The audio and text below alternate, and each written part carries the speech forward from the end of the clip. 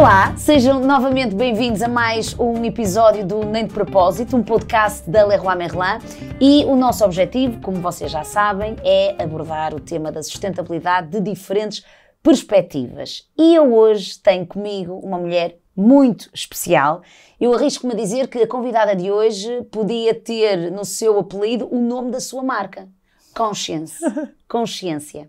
A Joana, conhecida como Jose para os amigos, é uma mulher que está muito atenta à natureza e eu não duvido do quão consciente ela está do trabalho, do impacto que os seus hábitos diários têm na sua saúde, na saúde da sua família e na saúde do planeta. Ela hoje está aqui conosco, mas antes de lhe dar as boas-vindas, também me parece importante fazer só aqui um, um balanço daquilo que a Joana faz diariamente. Até porque ela apaixonou-se, já viveu na Ericeira e agora vive lá perto.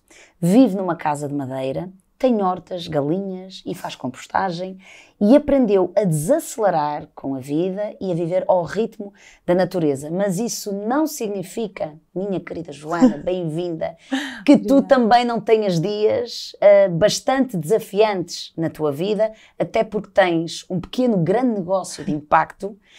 Um, de marca, que é uma marca conscious, uma marca um, sustentável, uma marca de roupa, que é a tua paixão, mas que também é um grande desafio para ti. Sem dúvida. E é sobre tudo isto que nós vamos falar. Mas, em primeiro lugar, bem-vinda ao Nem de Propósito. Obrigada, obrigada pelo convite. Gostaste desta introdução?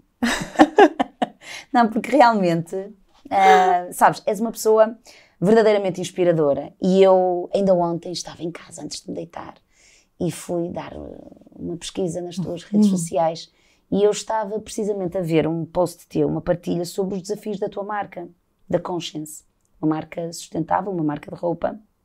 E eu vi o teu apelo também, a necessidade que tu sentes em que toda a gente, que as pessoas também apoiem estes pequenos negócios. Porque normalmente nós vemos a ponta do iceberg, não é? É uma marca linda, aliás, tu estás vestida uh, pela Conscience, sim, pela tua marca, sim. mas um, é preciso estar com um sentido de missão muito alinhado, não é? Sim, não é, não é de todo uma jornada fácil, mas a verdade é que quando os valores estão lá e quando há um propósito e quando estamos a fazer aquilo em que acreditamos, uh, tem que haver resiliência para, para continuar. E, e, esse, esse post que tu falas uh, foi na altura do Natal e foi Sim. a fazer um apelo para que as pessoas uh, comprassem, uh, no Natal passado, não é? Comprassem a marcas, a small businesses e, um, e porque realmente fazem a diferença na, na nossa vida, não é? Cada compra uh, na Conscious permite-nos chegar mais longe, chegar a outros consumidores, educar mais pessoas, não é? Para o consumo consciente. E, e um bocado, foi um bocado esse apelo ali antes do Natal uh, para que as pessoas repensassem até um bocadinho o seu consumo na, naquela época. É. Mas, mas, falando aqui desta questão do propósito, olha, nem de propósito, aqui com a Leroy Merlin, mas qual é, qual é o teu propósito? Porquê é que tu quiseste criar esta marca de roupa? Que começou por ser uma marca de biquínis. Sim, sim, sim é, o, nosso, o nosso produto principal é, é swimwear e, e, depois ao longo do tempo fomos eh, testando outro tipo de, de produtos e fomos lançando outras coleções. Um, mas eu criei a marca na verdade, porque eu queria construir o meu armário. Eu já estava muito interessada no consumo vá mais sustentável da moda. Eu acho que eu, eu acho que qualquer pessoa consegue uh, relacionar-se com isto, mas eu sempre adorei uh, moda e ir às lojas e ser inspirada e, e já consumi mais do que, do que consumo hoje em dia. Um, eu e... lembro quando, quando te vi. eu pensei, uh, tu também darias uma brilhante manequim. tu és linda, és, tens uma beleza muito exótica, certo? Tens uma beleza, és alta, super magrinha, Nunca fizeste trabalhos como modelo? Sim, no passado já fiz algumas coisas. E logo que acabas também por ser um bocadinho da tua própria marca. Sim, às vezes quando, não quando é o, o budget quando o budget não chega, eu, eu também faço, faço de modelo para, para as fotografias. E eu acho que as pessoas, principalmente as que me seguem, não tanto o público internacional que acompanha a marca, mas principalmente as que me seguem gostam de me ver a usar as peças. E eu acho que isso, que isso também acaba por, por ajudar aqui eh, em Portugal. Claro, e falaste agora de uma Sim. Coisa muito importante, que é esta ideia de startup. Uhum. Que é Nós fazemos Sim, nós fazemos tudo. um empreendedor de impacto, um empreendedor quando está a montar um negócio, Sim. nós temos mesmo que ter esta capacidade Sim. de fazer um bocadinho de tudo. Sim. E de começar a fazer. Sim. Porque é fazendo que vamos aprendendo, Sim. não é? E, e, há coisas que gostamos de fazer e outras que não gostamos tanto e, e que são normalmente para essas que depois vamos contratando. Claro. que é primeiro, as primeiras que, que, não gostamos tanto. Imagina, se sou uma pessoa mais do operacional, se calhar vou contratar para marketing uh, e vice-versa, não é? No meu caso, eu sou mais de marketing, eu contrato sempre mais virado para o operacional. Uh, mas a verdade é que nós no início temos que fazer tudo e, e ainda hoje em dia, porque eu eu ainda agora esta semana vou ter que ir ao norte buscar um, um, carregamento de coisas e vou eu no meu carro e, e vou eu levar ao armazém e provavelmente vou eu fazer o quality check e eu já não costumo fazer isto, mas esta semana não há ninguém para o fazer, portanto eu vou ter que fazer. E, porque não há mais ninguém, não é? No final do dia. Claro. Tu, tu, no final do dia a responsabilidade é nossa e, e, isto é muito importante. Eu acho que temos que ser muito maleáveis para, para gerir um negócio, principalmente nesta fase inicial, que na verdade já lá vão cinco anos, mas, mas eu ainda sinto que estamos. Claro, isto é uma maratona. Sim. Agora, uh, mas porquê é que decides, decides criar esta marca? Ok, porque tens uma grande paixão por moda, porque, porque gostas, uhum. mas tem que haver aí algo muito mais Sim. profundo do que isso, não é? Que te levou a criar a Conscience. Sim, eu acho que hum, quando, quando procuramos uh, marcas, eu, no meu caso, por exemplo, quando procurava marcas mais sustentáveis, que fossem produzidas em Portugal, um, que tivessem uma linha de, vá, de design mais minimalista, Uh, não havia muita coisa. Agora, hoje em dia, até já há mais e, e eu acho que o mercado já está mais repleto de marcas novas e, e, já há mais opção de escolha, mas não havia muita coisa. E então eu comecei, no início, a fazer as peças para mim. Portanto, estava a fazer biquínis para mim porque eu sentia que. Hum, que as, as marcas portuguesas na altura não ofereciam muitas opções mais minimalistas, mais simples. Uhum. Havia muito, ainda era muito a época em que era muitos padrões, muitos folhos, muitos designs mais estranhos que depois também deixam marcas mais esquisitas de bronzeado. E eu, eu sempre tive uma linha mais minimalista e, portanto, eu comecei a fazer os meus biquinis pretos, básicos e de outras cores, cores mais lisas. Eu gosto de padrões, mas também gosto de coisas muito específicas. Um, e foi isso que eu que eu comecei a fazer para mim e com o feedback das pessoas, de amigas, de pessoas que, que já me seguiam pelo Instagram, é que surgiu então a ideia, ok, isto se calhar eu posso, além de estar a fazer para mim, estes designs podem servir para, para outras pessoas e, e podemos tentar montar uma coisa à volta disto. Então, e, e como é que tu visual, porque tudo o que tu estás a dizer, o que te leva a criar esta marca é algo muito visual, uhum. como é que daí passas para esta visão mais sustentável na criação de biquínis? Nessa altura, ou seja, na altura em que eu estava a criar a, a marca, eu tinha 27, 28 anos. Uh, eu já vivia numa casa de madeira desde os 21, eu já tinha uma horta, eu já já já estava já estava numa fase onde a sustentabilidade estava entranhada em tudo o que o, o que estava à minha volta e portanto para mim naquele momento em que fui criar a marca isso nem sequer era uma questão. É, era óbvio que ela teria que ser feita da forma mais consciente possível. E o que é que é isso? E já lá vamos falar Sim. do teu estilo de vida. Uh, uma marca mais sustentável possível. Porque isto, isto é uma palavra que muitos falam, mas eu arrisco-me a dizer que se calhar ainda há muita gente que não entende o que é que é esta questão de criar uma marca de biquínis sustentável. Sim, eu acho que tem a ver com o impacto, não é? Com o impacto que nós queremos deixar. Uh, portanto, eu acho que o primeiro passo foi os materiais. Ok, vamos, vamos primeiro descalçar esta bota. Preciso de um, de um material que seja ou biodegradável ou reciclado. Vou estudar aqui o que é que há no mercado. Também, agora também já há mais, embora seja ainda bastante limitado, mas há cinco anos ainda era mais, não é? Uhum. Uh, e, e, portanto, todas as nossas escolhas de design acabam por ser afetadas pela porque há pouca escolha, na verdade. Um, claro, porque tu tens que aqui associar o design à, ao, ao impacto do tecido. Sim. E... Então, e qual é o melhor? Uh, tendo em conta esta visão, porque quando nós fazemos uma compra, não é? Nós, mulheres e homens também, nós queremos algo bonito, que nos fique Sim. bem, só que nós temos que ir para lá disso. Sim. Que é, ok, tem que ser algo bonito, mas que tenha o mínimo impacto possível Sim. na natureza. Qual foi o tecido que tu escolheste, por exemplo, nessa altura? Sim, eu escolhi o Econil, que é um eh, para os biquínis, eh, que é um, um- é reciclado, portanto é reciclado de plásticos que são apanhados no mar, plásticos de, de lixeiras por todo o mundo e portanto eles são eles são basicamente derretidos e depois daí começa o processo de criar uma fibra de poliéster como como a, a normal. A parte boa do poliéster reciclado é que ele mantém 100% hum, a durabilidade e as condições do poliéster virgem. O que não acontece noutras fibras, por exemplo, quando falamos de algodão reciclado, ele não mantém a mesma durabilidade e a mesma fiabilidade de um, de um algodão virgem. Ah, no caso do, do poliéster reciclado, ele mantém. Portanto, quando compras um biquíni reciclado, podes esperar a mesma durabilidade.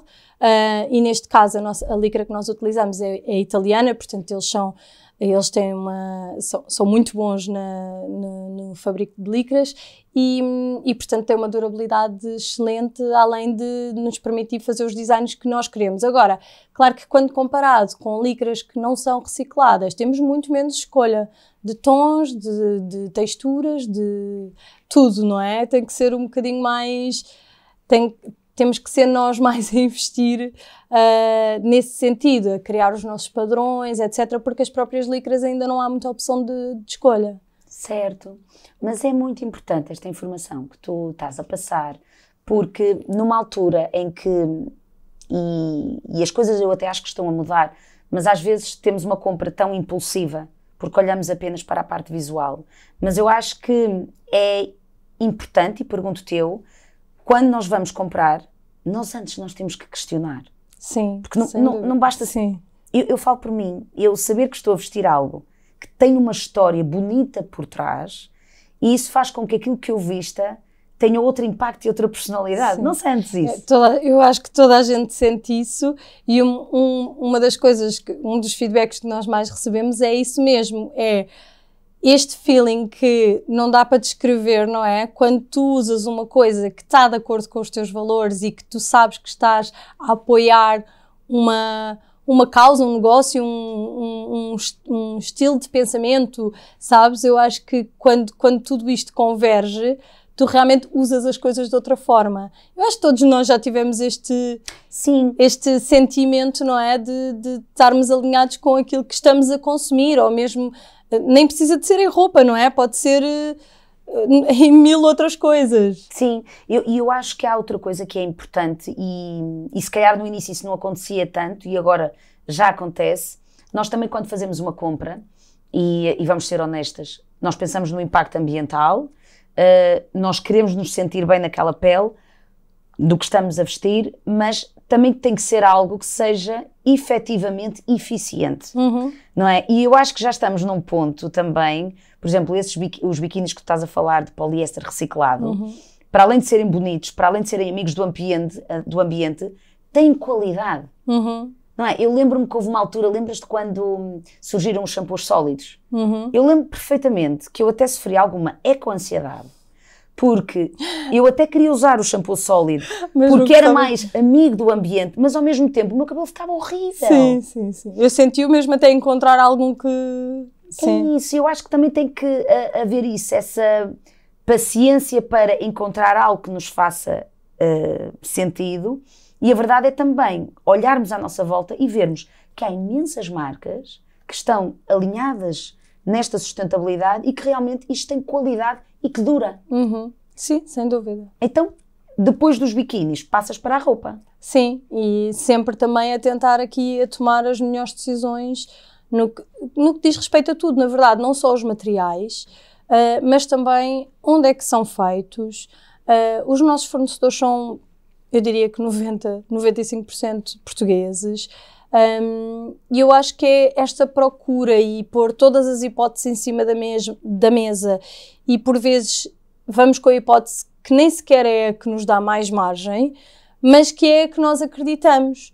E portanto, e, e para mim é isto que faz sentido, não é? É gerir este negócio. Claro que há toda uma parte do negócio que é preciso uh, terem atenção, não é? Porque a verdade é que gerir um negócio é muito complexo, um, principalmente um negócio de, de roupa onde o investimento é todo feito de antemão, não é? Portanto, se a coleção não correr bem. Daí não podermos ter tanto estoque. Sim, essa, essa também é uma, uma questão de. Nós trabalhamos com estoques mais baixos, nós trabalhamos muito com coleções permanentes. Por exemplo, a coleção de gangas é uma coleção que vai ficar permanente. Muito do nosso swimwear, as, as cores mais básicas, tu encontras todos os anos nos mesmos modelos, alguns modelos diferentes, mas portanto quando nós estamos a trabalhar com os mesmos, continuamos a trabalhar com os mesmos materiais, conseguimos também comprar em mais quantidade, o que é melhor para o preço é melhor para o transporte e, e portanto, dá continuidade para o nosso cliente também, porque imagina que compraste um biquíni uh, leopardo, que é um dos nossos best-sellers que lançámos já há 5 anos, é. e já compraste há 5 anos e aconteceu qualquer coisa, perdeste uma das partes, não sei tu podes voltar atrás e comprar só aquilo que precisas porque ele ainda está à venda. Hum. E, e eu acho que e muita gente na nossa marca compra também para fazer conjuntos improváveis. Portanto, em vez de, como nós vendemos por peças, a pessoa pode comprar um top e já tem as cuecas, ou já tinha umas cuecas do ano passado que até ficam bem com o top deste ano. E, portanto, uhum. há esta flexibilidade para poderes fazer um, para poderes fazer a compra que realmente necessitas versus ser-te imposto comprar um conjunto quando se calhar tu não queres. Certo, e há aqui outra coisa que a mim me parece importante, que é as pessoas estarem conscientes para todo o processo de produção de peça. Esta cadeia de valor e que tu partilhas diariamente também uhum. nas, nas, nas, redes sociais, nas tuas e também da tua própria marca, que é as pessoas saberem quanto é que custa produzir uma peça. Sim. Porque esta questão do stock, não é? Às vezes nós compramos e queremos para ontem a peça. Sim. E aqui às vezes nós temos que perceber que há um tempo para produzir. Sim aquela peça. Portanto, achas que. Como é que achas que está a mentalidade dos portugueses no que toca ao consumo de roupa? Estamos mais conscientes? Sim, eu, eu sinto que. Eu acho que há duas razões pelas quais as pessoas uh, consomem a minha marca, neste caso, que é o exemplo que eu tenho mais concreto. Há uma fatia de pessoas que é realmente pela sustentabilidade e depois há outra que é, tem a ver com o design e que a sustentabilidade é um plus pronto, é, é uma coisa positiva e tudo bem, mas, mas estão a consumir pelo design e se não fosse sustentável, consumiriam provavelmente na mesma, porque é mais uma questão de design. Um, no nosso caso, como nós temos crescido todos os anos, portanto, a visão que eu tenho deste lado é que sim, que há mais pessoas a comprar. É, agora, eu não tenho uma visão global do, do, não, do ecossistema todo, não é? Mas na Conscious há sempre pessoas novas a, a, a, chegar e em Portugal temos crescido também todos os anos, portanto... Mas é assim que às vezes tem que começar. Nós podemos não estar ainda muito despertos para a uhum. sustentabilidade uhum. e se calhar tendo um produto que é apetecível e Sim. visualmente bonito, Sim. nós compramos. Ou seja, já nos caçaste pela... Há uma expressão que é já caçaste o rei pela barreira. Ou seja, já te apanhei. Sim. Ou seja, já captei a tua atenção porque gostaste da imagem da minha marca. Uhum. E agora eu vou aproveitar que te tenho comigo e que tu gostas da minha marca e eu vou-te explicar como é que isto funciona. Sim. Porque uh, isto é um caminho. Uh, Sim. E, e eu acho que a sustentabilidade também passa muito por ter uma atitude cuidadora de nós, da nossa roupa, do planeta. Nós não podemos começar logo a sermos todos sustentáveis a fazer tudo ao mesmo tempo. É impossível. Isto sim. começa por algum lado? Sim, é um caminho e há pessoas que começam pela moda, outras pela alimentação e, portanto... Não e... podemos sofrer de eco-ansiedade. Sim, sim. Sabes, eu às vezes vejo muito isso e eu às vezes...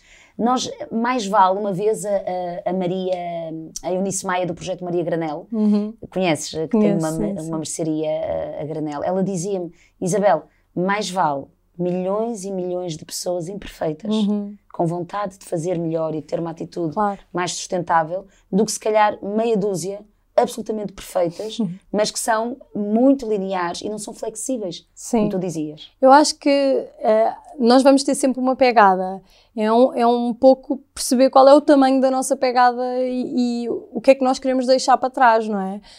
Um, e, e, portanto, não, não há forma de dar a volta, porque nós somos consumidores e vamos consumir, mas se nós perdemos o tempo para nos informarmos, para questionarmos, para planearmos, porque a sustentabilidade tem, tem que ter isto tudo, não é? Ah, eu nunca vou fazer uma boa escolha se eu não me for informar se este tipo de madeira ou aquele, ou este tipo de material para esta roupa ou aquele, não é? Porque que eu devo comprar um 100% algodão orgânico versus um 100% algodão? Ou, ou porque que eu devo escolher fibras naturais versus as fibras sintéticas, não é? Uh, ou, ou, na alimentação, porque que eu devo escolher a fruta local versus a fruta que vem do outro lado do mundo. E para isto é preciso, é preciso estar disponível para, para, para pensar nestes temas e para ter tempo para pensar nestes temas, que acaba por ser também privilégio, não é? Porque se tu podes pensar nestes temas, acaba, quer dizer que tu tens a educação X, que tu cresceste num ambiente Y, não é? Portanto, é um privilégio. E, e para quem pode e tem tempo para pensar nestes temas, eu acho que faz sentido questionar porque é que eu estou a comprar bananas do Equador quando há bananas da Madeira aqui em Portugal, não é? Mas sabes, eu acho que isto também é o propósito de uma, de uma marca, que é não só mostrar, e neste caso, uma marca de, de roupa, uh, e pergunto-te se isto também não te faz sentido, que é para lá de estarmos a mostrar um conjunto de roupas que são bonitas e que nos ficam bem, é também ter esta literacia. Ou seja, explicar às pessoas. Uhum. As marcas cada vez mais, e tu também como, como detentora de uma marca sentes isso, a marca não pode só agora mostrar a roupa que tem, tem que explicar e contar a história daquela marca. Sim. Essa e as redes sociais, nesse sentido, são uma brilhante ferramenta para promover a literacia uh, na roupa às pessoas, não sentes isso? Sim, sem dúvida, tal como quando vamos ao supermercado e queremos fazer uma boa escolha, temos que olhar para os ingredientes que estão atrás, não é? Uh, na roupa é igual, não é? Só que se não, se não forem as marcas a, a educar os consumidores, quer dizer, isto não é um tema nas escolas, não é? Um, não é? Portanto, no, nós o que fazemos é isso, é quando lançamos um produto novo, um material que ainda não usamos, ou nós tentamos sempre educar as pessoas nesse sentido e porque, porque é este e não outro, não é? Porque há sempre, há tantas opções disponíveis no, no mercado. Uh, seja através da newsletter, das redes sociais, seja através de eu a falar com, com clientes. Portanto, é sempre importante fazer isto e, e o próprio consumidor perceber que há muitas hipóteses, não é? Para uma t-shirt branca. Tu tens t-shirts brancas feitas em mil e uma qualidades de material. Tens poliéster, tens algodão, tens algodão reciclado, tens o algodão orgânico. E, quer dizer, se, se te interessares sobre o tema, podes ir pesquisar qual é a melhor forma, qual é o melhor material para este tipo de produto, qual é que vai durar mais, qual é que teve menos impacto. Claro que não vamos fazer isto para todos os produtos que consumimos, mas a verdade é que se tu aprenderes uma vez, não é? Depois as tuas escolhas vão ser sempre de acordo, não é? Olha, eu, no meu caso, eu só, só uso fibras naturais, a não ser que seja swimwear, eu só uso linhos, algodões, etc. Uh, ou, por exemplo, eu só compro peixe de mar, eu não compro peixe da aquacultura. Sabes, há coisas que depois são, pronto, está ali um baseline uh, e tu já tomas todas as decisões a partir dali. Tu, tu deves ter o mesmo com algumas coisas, não é? Sim. Eu não compro artigos, outro meu é, eu compro fruta toda local. Pronto, a não ser uma vez ou outra, não é? Se quiser um abacate ou, ou o que seja e que não haja português, não quer dizer que eu não compre. Mas por norma, não é? Há, há certas regras não quer dizer que não se. Também não como muito açúcar, mas de vez em quando como, não é? Certo. E eu acho que é um bocado entender aqui o que é que, como, como muita gente aprende para, para, para a cozinha, não é? E para os alimentos, quais são, sei lá, os tipos de óleos que devemos de evitar, ou devemos de evitar uh, fritar o azeite, não sei, sabes? Essas coisas, eu acho que dá para, para aprender isto para outras coisas, seja para a roupa, para, para outra coisa, outras coisas que consumimos. Certo, é esta tua visão holística que é, eh, que, é, que é muito interessante e por isso é que o teu estilo de vida também faz jus uh, e está alinhado com o teu negócio. Portanto, nós não somos partes, Sim. nós somos um, um, todo e o que tu estás a dizer é um pouco isso. Uh, mas, e, e, voltando aqui ainda a esta questão do negócio, eu acho que esta questão da literacia e o facto de expores uh, e, das, e de promoveres o diálogo que vai gerando comunidade. Sim. Uh, e eu acho que o que faz a força das marcas é muito este sentido de comunidade. E, uh, e eu sinto muito isso na Conscience e quem vai à tua página consegue respirar, uh, consegue respirar e perceber isso. E faço-te aqui outra pergunta que é um, em relação aos hábitos de consumo. Então, para quem nos está a ver neste momento e, e pensa, ok, então eu agora Se quiser comprar uma peça de roupa, porque nós não somos contra o consumo, eu, eu pelo menos, Sim. eu acho que ter uma atitude responsável também passa por vivermos no equilíbrio, Uhum. não é? Um consumo responsável é viver no equilíbrio. Então, hum, eu vou continuar a consumir, mas a questão é, ok, eu não vou deixar de consumir, mas eu tenho que consumir melhor. Então, eu para consumir melhor, no que toca, por exemplo, à compra de uma peça de roupa, uh, Joana, uh, que atitude é que eu tenho que ter no ato da compra? Antes pensar Sim, no que é sim, que preciso, sim, não sim, é? sim. O planeamento, não é? E o, Como e, é que tu e fazes? o questionar. É assim, eu não sou um bom exemplo hoje em dia, porque Tu eu não, sim, pronto, eu Para no meu que caso estão a ver. eu estou a fazer as peças e são estas que eu uso, não é? Portanto, eu não sou um bom exemplo porque eu hoje em dia em moda nem, nem consumo mas- assim tanto. Dando aqui um Mas, exemplo, sim. porque eu acredito que hum, há pessoas que se questionam e se sentem Sim. perdidas. Sim. Então, eu quando quero comprar uma peça, Sim. como é que eu faço para comprar melhor?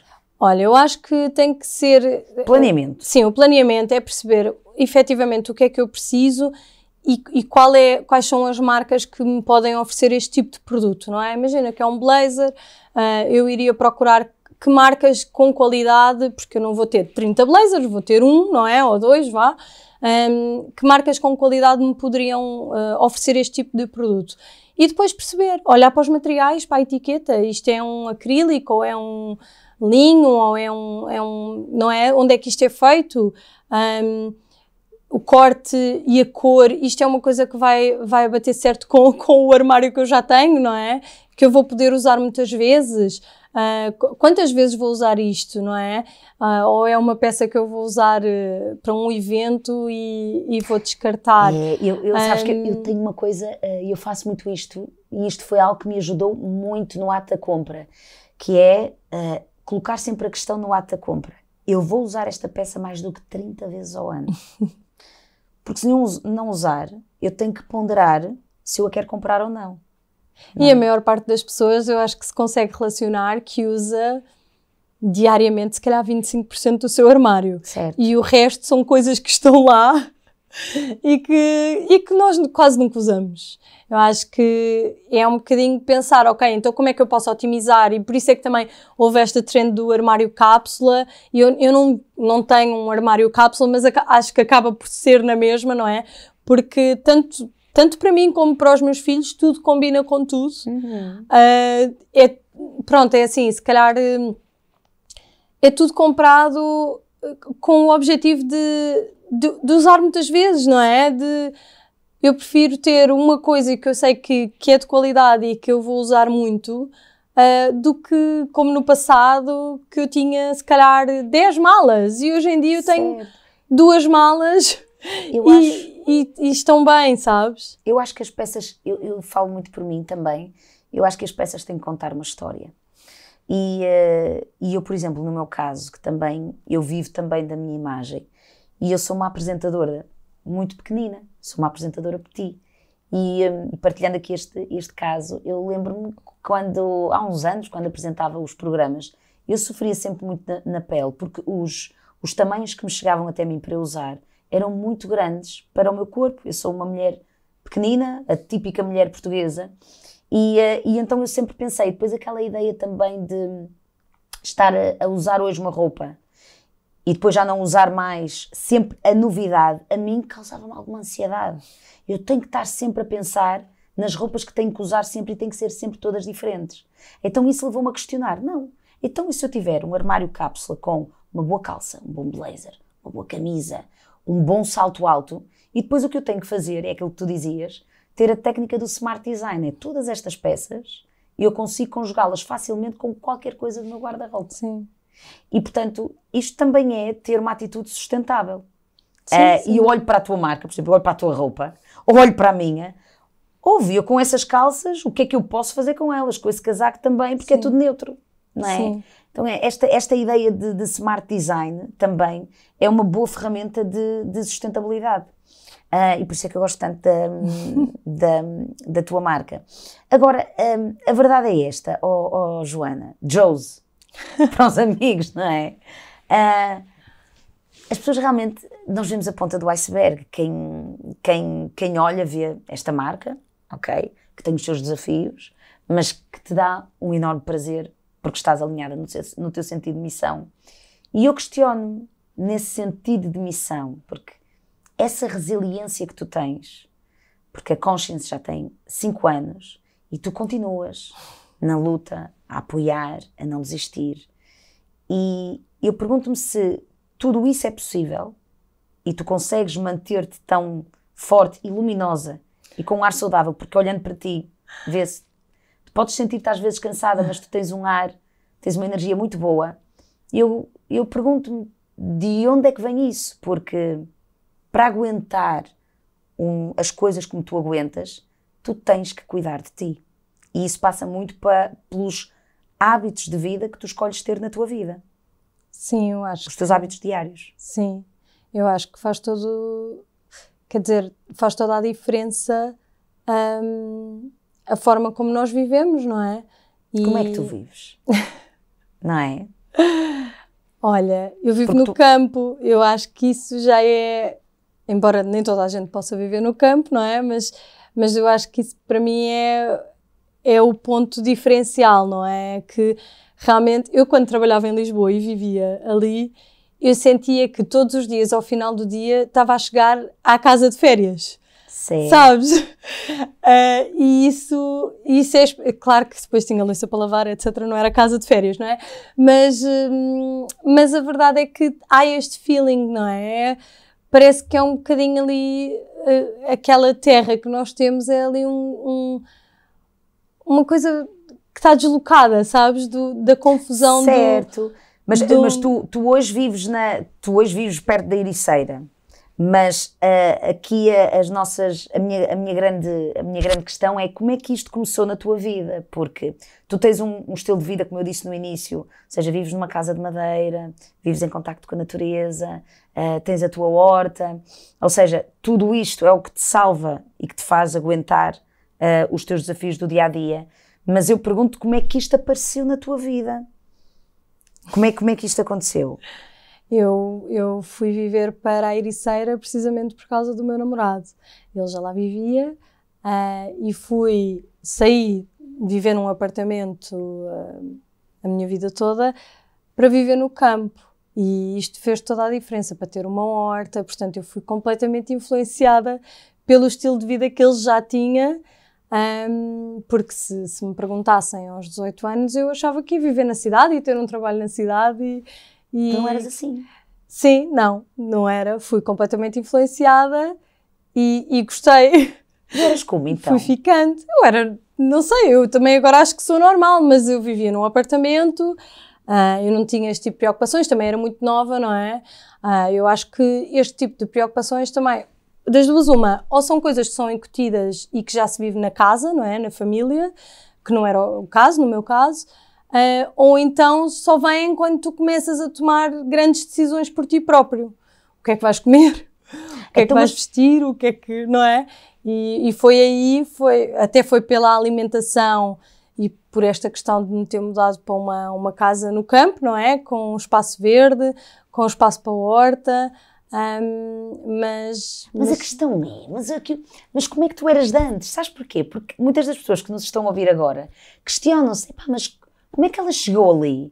Porque tu, tu não tinhas esta consciência em relação a viver perto da natureza, a ter uma alimentação mais sazonal, mais local. Ou seja, tu eras a típica adolescente que vivia na cidade e que tinha uns pais que te amam, que te adoram, mas não estavam muito alinhados neste estilo de vida. Não, e, eu, e para mim também não era, não era, não era um orgânico. tema, não era um tema, sim. Eu acho é que depois, como em tudo na vida, há um efeito dominó e eu mudei-me para o campo. Foi a primeira peça. E depois, de repente, temos uma horta e temos alimentos que eu nem, nunca sequer tinha comido e eu começo a pesquisar receitas para, para fazer esses alimentos. E, portanto, começo a, usar, a, a, entrar mais nesta parte da alimentação mais saudável, começo a questionar algumas escolhas que tenho feito ao longo da vida. E, e eu acho que depois isto vai, vai, vão sendo dominós a cair, porque depois começo a ler mais sobre alimentação e Uh, e de repente já estou uh, em outros temas como a saúde mental ou o desenvolvimento pessoal ou uh, o que seja, não é? O cérebro, como é que o cérebro funciona. E portanto, depois eu acho que ganhamos esta capacidade de questionar que depois se, se vai se vai implementando nas outras áreas da nossa vida, não é? Quando és pai, já não olhas para a parentalidade também sem questionar. Porquê é que se faz as coisas assim? Então não seria melhor se fizermos assim e se calhar vamos testar isto? Ou... Mas quem é que te leva a querer mudar? Foi o teu namorado. Eu acho que não havia que esta... teve, porquê, como é que ele teve a capacidade de te influenciar? Por ser um exemplo? Sim, por ser, e, eu acho que aí é como, como com os nossos filhos, que é ele já vivia aquele estilo de vida. E, e foi isso que te apaixonou, que te fez apaixonar por ele? Não sei, não sei se foi isso, mas, mas realmente há, eu acho que tipo, é inevitável, mas há uma ligação nossa com a natureza hum, e eu acho que daí pode, não sei, sabes? Eu acho que viver mais perto da praia, ter um estilo de vida que acaba por ser menos acelerado, hum, agradou-me. E portanto, eu- o, o que nós gostamos, vamos à procura de mais, não é? Porque tu eras acelerada. Sim, talvez. Sim, No trabalho, sim, na cidade. sim. E E de repente aparece-te um. E quando eu digo, neste caso, foi eh, um rapaz, que é hoje o teu Sim. marido, poderia ser outra pessoa, um amigo. claro, sim. É o poder da influência que eu estou aqui Ai, a falar. sem dúvida. Tu realmente deparas-te com uma pessoa que tem um ritmo totalmente diferente do teu. Sim. mais alinhado com a natureza. Foi isso que te surpreendeu, que te fascinou, que te fez querer entender como é que é aquele estilo de vida? Sim, eu acho que sem dúvida. Sim. E, e em que é que isso te tornou numa mulher diferente?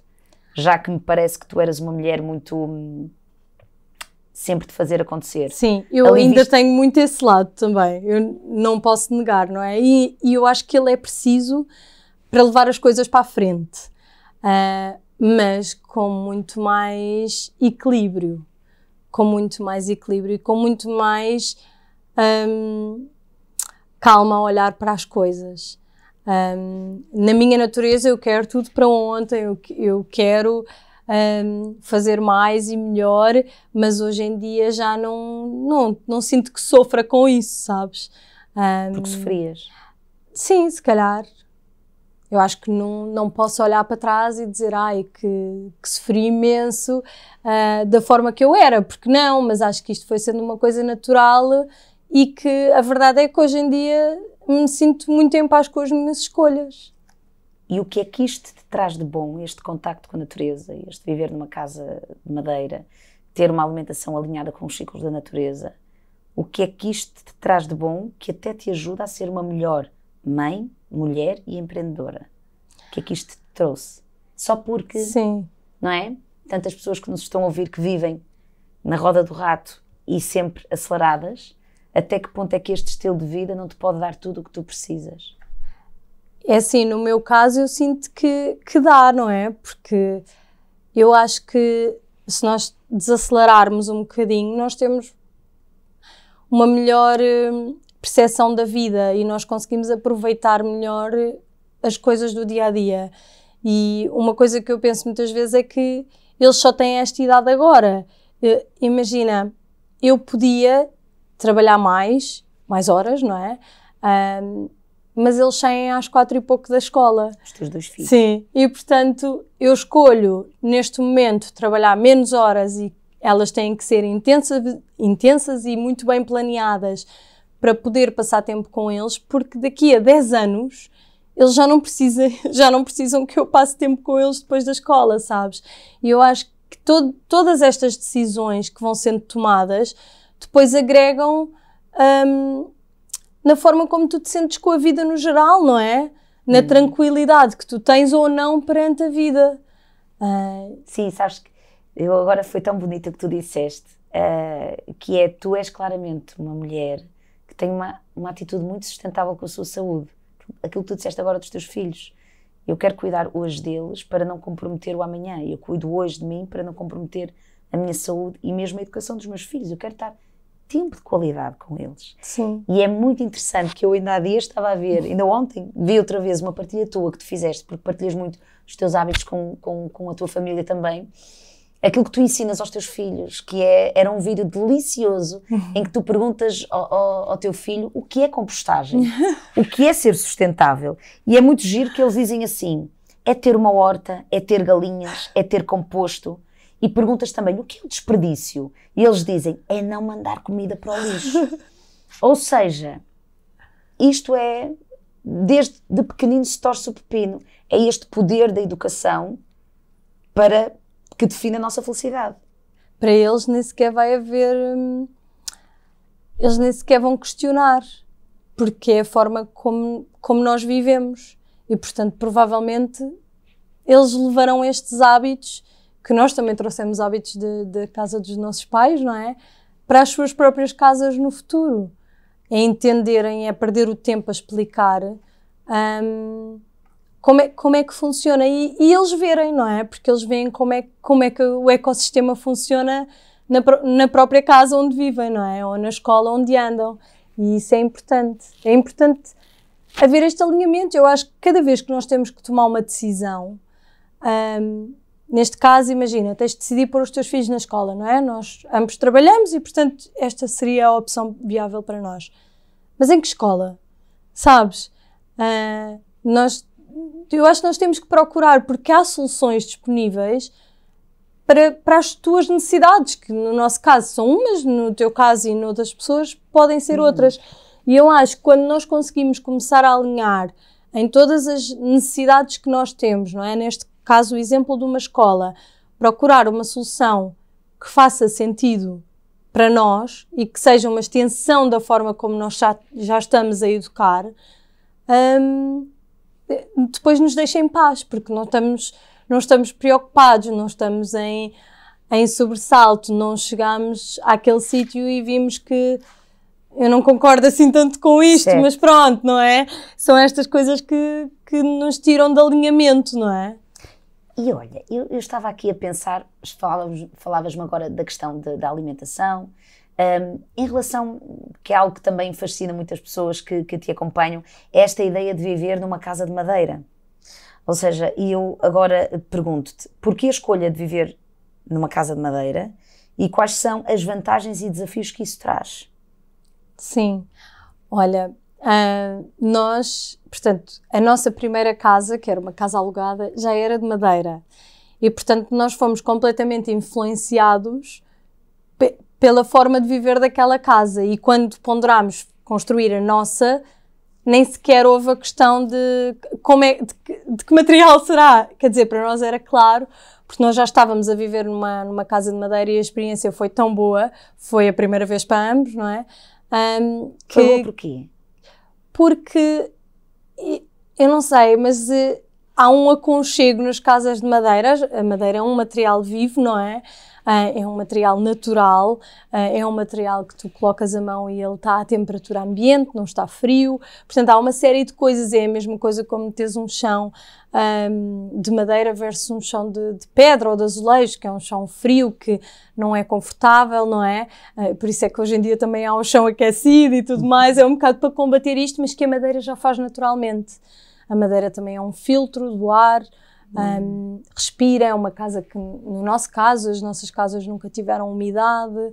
Um, é, quer dizer, é, é uma forma de viver um, um bocadinho diferente da, da, forma convencional. São casas que, uh, se bem isoladas, mantêm bastante o calor no inverno e, e, também conseguem ser frescas no, no verão. Portanto, é mesmo outra forma de, de, construção. Os materiais de construção são todos mais sustentáveis um, em todo o processo de construção, uh, porque a construção convencional, uh, tu tens o tijolo, depois tens o, o, cimento, tens uma série de materiais que não são da natureza, não é? Que foram uh, feitos pelo homem e nada contra, mas no nosso caso fazia todo o sentido construir desta forma.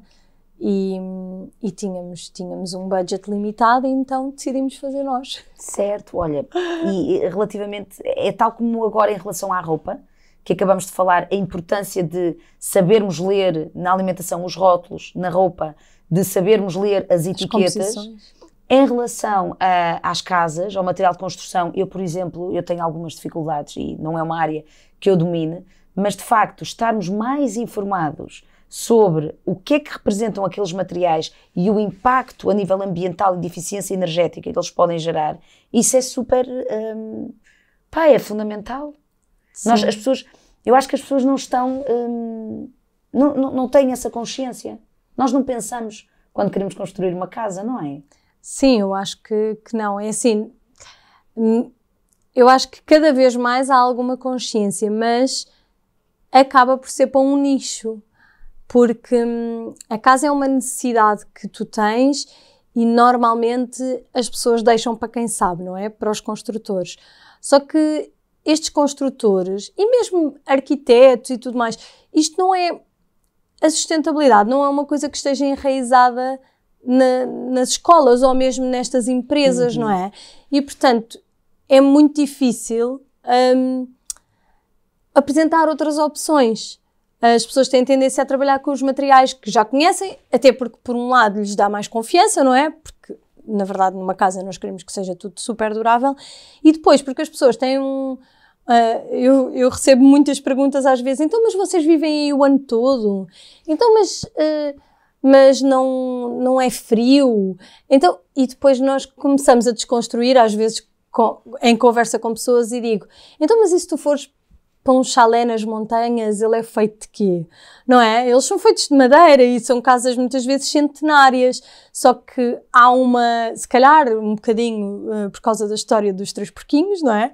Que, em que a casa de palha era menos eficiente, não é? A de madeira era ali a do meio, e, mas o que era bom era a casa de cimento, não é? Porque essa sim era durável e, e eu hum. acho que esta, esta narrativa está está em todos nós. Eu própria, eu e, e ele, e eu lembro-me de até os meus pais ficarem na altura, mas uma construção de madeira, mas isso vai durar? Mas, sabes, há este medo, porque é realmente um grande investimento, uma casa é provavelmente o maior investimento que nós fazemos na, na nossa vida, não é?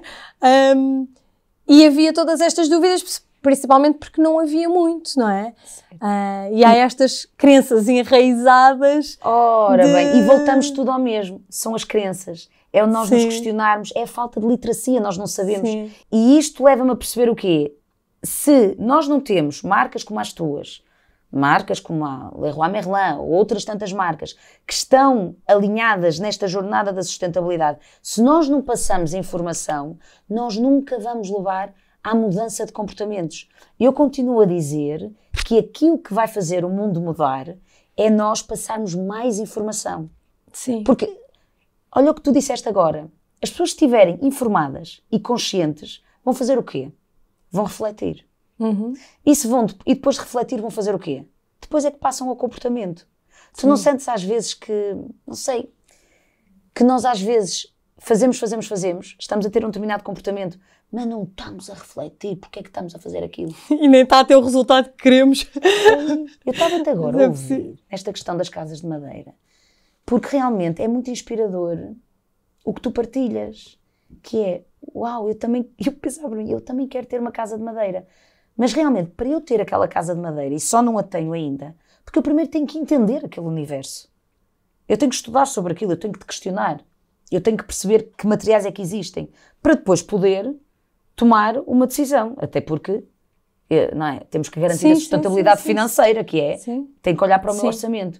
Então uh, é, é, muito interessante esta, esta, esta visão. Claro que é bonito olharmos para aquilo que tu já construíste, mas eu acredito que até tu chegares à tua casa de madeira top, incrível, há um, há um caminho. Há um caminho, não é? Sim. Nós, uh, quer dizer, já, já estamos, eu acho que já estamos nesta casa há uns 12 anos.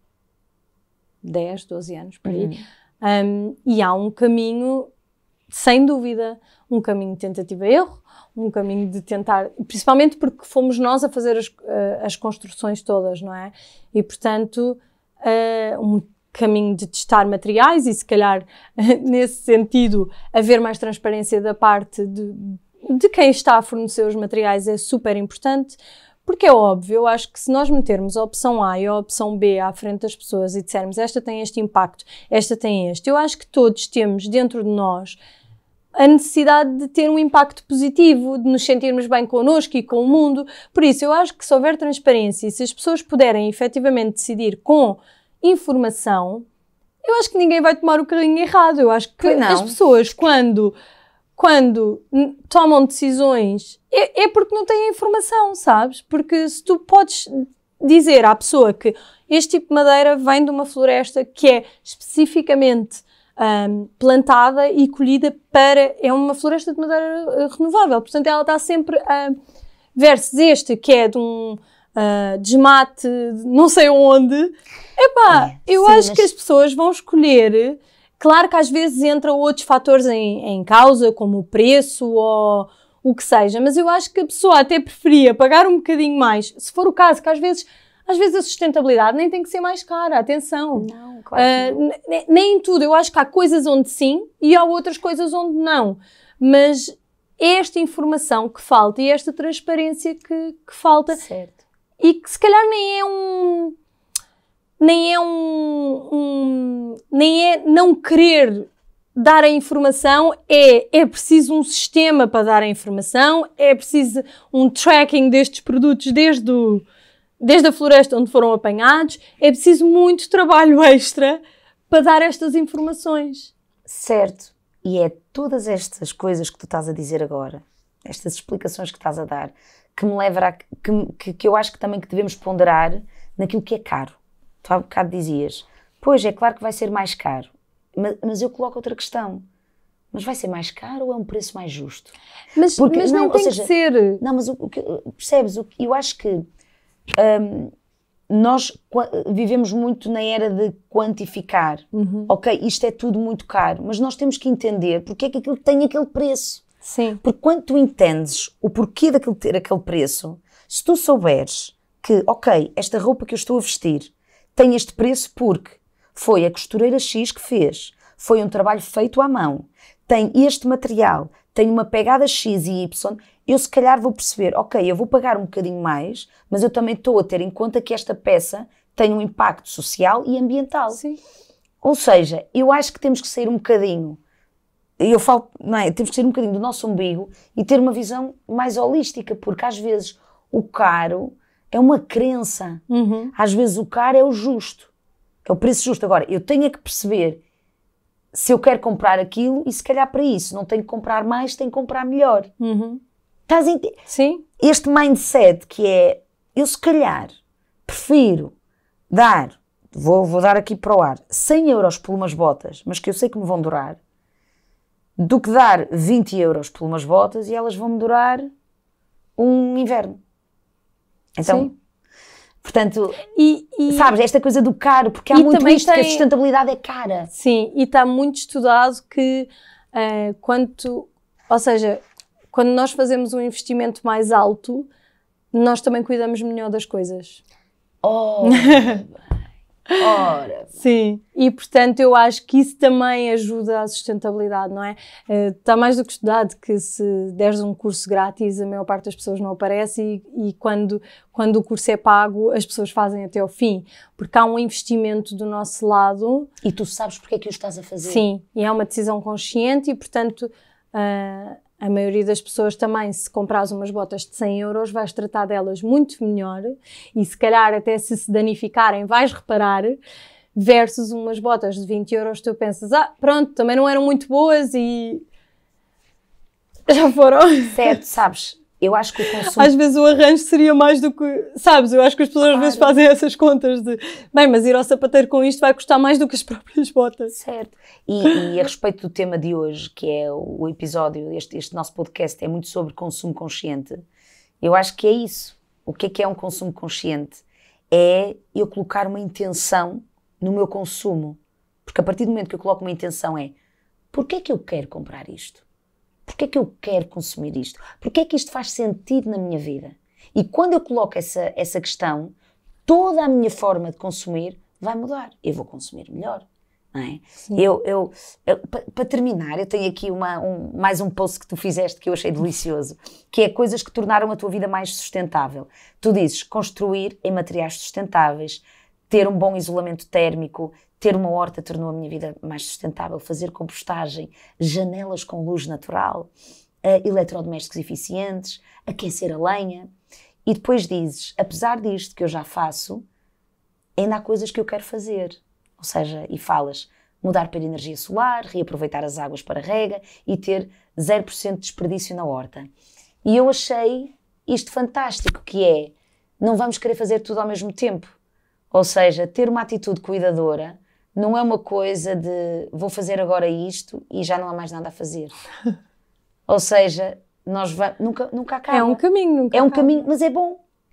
Até Há porque sempre- a nossa vida também vai surgindo desafios diferentes e se calhar depois vives num sítio diferente e já trabalhas em casa e portanto já nem andas de carro, isso já não é uma questão, mas, mas tens outro consumo de outra coisa qualquer que surgiu porque agora andas mais de avião, não sei. Sabes, eu acho que é ter esta consciência que isto é um. Nós também não somos projetos acabados, não é? Nós também estamos a evoluir e portanto eu acho que se houver este mindset sobre a sustentabilidade, é, ele acaba por se infiltrar depois em todas as áreas da nossa vida.